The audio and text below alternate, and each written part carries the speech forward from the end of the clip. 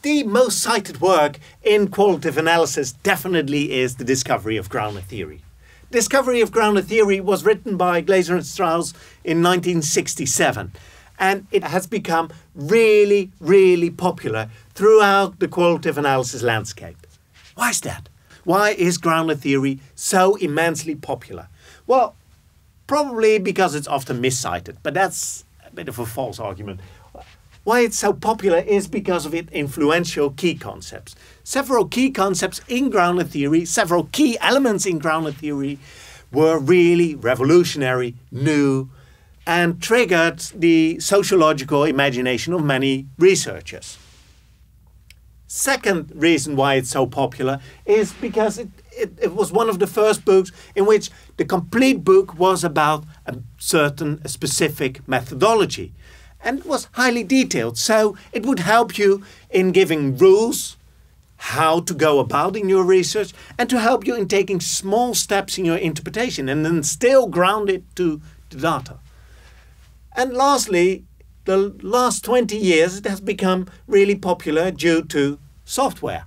Software developers found out that grounded theory was ideal to translate into software tools key concepts from grounded theory, key rules in grounded theory, were pretty easily transposed to software.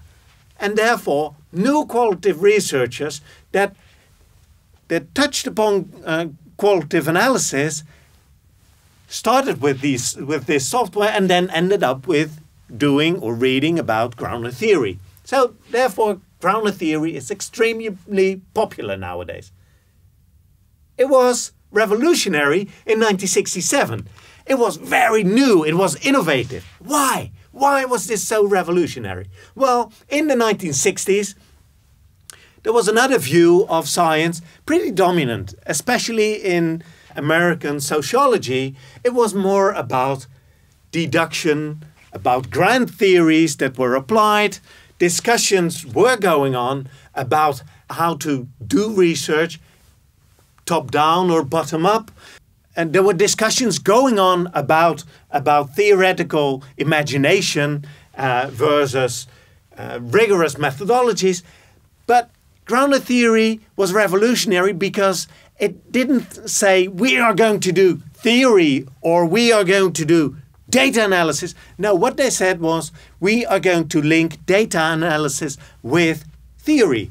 And grounded theory was inductive as opposed to much of the deductive work, but it wasn't naive inductivism. Grounded theory was also revolutionary because what they said was data analysis takes place during data collection. And obviously, ethnographers did that for ages. But in sociology, this was pretty new. And many people would first gather data and then start analyzing or start writing. It was also revolutionary because they were very much against the hypothetical deductive view of science that was pretty popular at that time. And they said, well, what these hypothesis checkers are doing is they're not testing their hypothesis, but they're just checking their theory. So they're not falsifying, they're verifying their theory.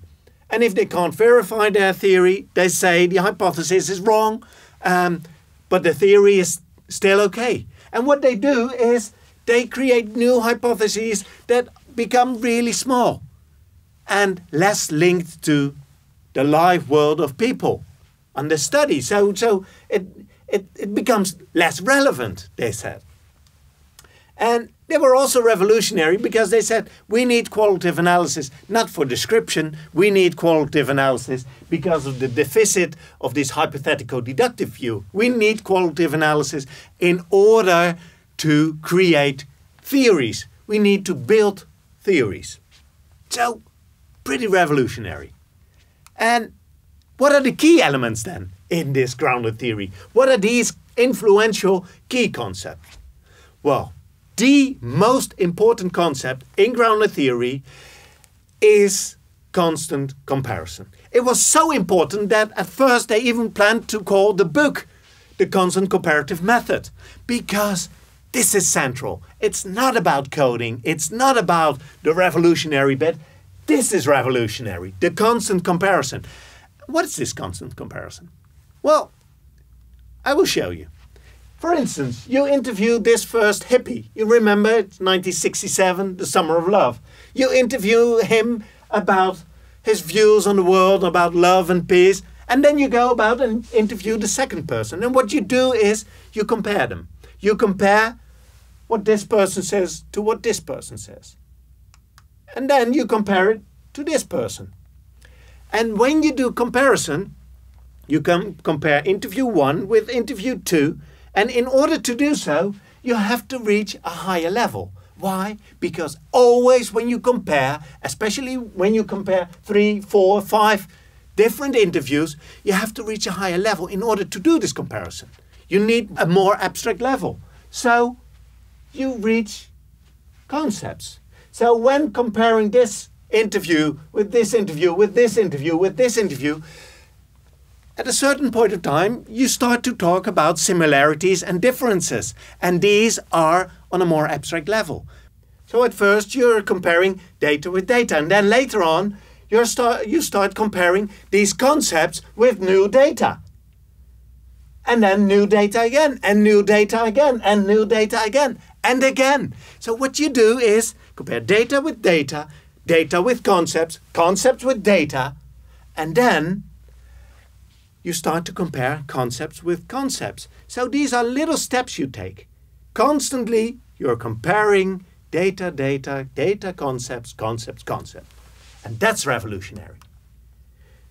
Second key element of grounded theory is its strong focus on the research process as a process. How? Well, first, they used the concept of Blumer's about sensitizing concepts. Every concept is temporary and they're provisional, they, they give some guidance, but that's it. You shouldn't pin them down. They're not written in stone. Concepts are temporary and you develop them throughout your research. So it's a processual approach. The second bit is that you're testing for deviant cases. Like in analytic induction, you are on the lookout for deviant cases in your constant comparison, you try to find these deviant cases because they help you. Similarities help you, definitely. But contradictions help you probably uh, much more. A third aspect of this focus on, on process is the writing of memos. Way more important than coding is the writing of memos in grounded theory. In order to build your theory, create your transparency, your famous audit trail, and reflect. The third key element of grounded theory and the third revolutionary aspect of grounded theory is that sampling in grounded theory is completely different from sampling in survey research. In survey research, you take a small sample with which you try to say something about the population. In qualitative analysis, that's often ridiculous. What you want to do is to take a small sample and say something about theory. So what you try to do is not representation, but saturation. You try to have theoretical saturation. And theoretical saturation you reach when your theory is so sophisticated that every new data point, every new interview does not lead to more refinement of your concepts or your categories that you've created. The fourth key element of grounded theory is, as I said before, the creation of a theory. Rather than just describing, Glaser and Strauss said, we need theories, theories that are connected, grounded in the data. So what steps do we need to take then when doing grounded theory? Well, as Glaser later said, all is data. So when you gather your material, you can gather everything. You can get you can use interviews, you can use observation, you can use advertisements, you can use anything that is relevant for you. So all is data. And then when you do this constant comparison, you compare data with data and concepts will arise. And not just a single concept, but many concepts. And from these concepts, new categories uh, arise. And these categories, they do not arise automatically. No, they arise because you compare a concept with a concept. And you say, well, maybe they fit in. Maybe there's this is a subform of this category. So you try to organize all these different concepts into categories. Many people would call these codes. And then you try to link those categories to certain properties, probably some conditions or consequences or any other properties of these categories. And you try to link these categories to each other by relations or theses or theorems or whatever you want to call them. But you try to relate these categories. And in the end, you try to create a core category, a single category that is the most important aspect of your complete theory. And you try to build a storyline around this core category. So this looks pretty simple, but is it? Well, obviously it's not. In later forms of grounded theory, many discussions how to go about and how to do this and how to take these steps have been uh, held.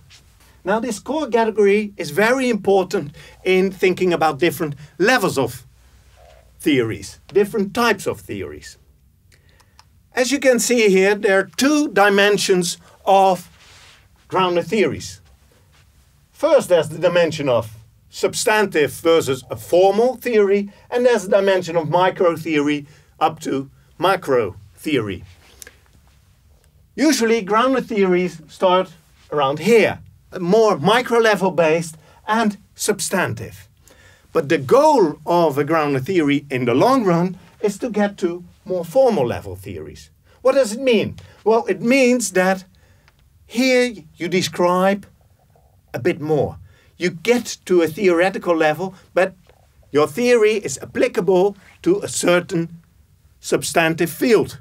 Whereas if you develop your theory more and more and more, probably, or that's at least what you strive for, your theory will be applicable to more different substantive fields and then become more formal. And it might become more macro, but it doesn't need to be. So there are different grounded theories. And in another lecture, I will show that there are different forms of grounded theory based on different authors.